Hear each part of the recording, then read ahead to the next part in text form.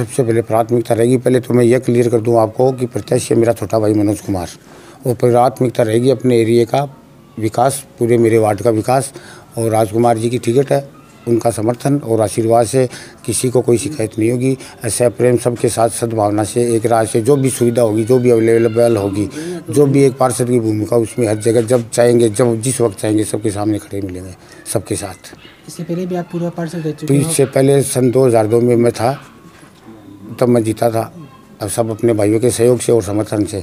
और कभी कोई नेगेटिव शिकायत नहीं रही इंडिविजुअल कोई भी किसी भी प्रकार की उन सबका सहयोग था, वो सहयोग अब है। अभी भी उन्हीं के सबके साथ उनकी राय से है।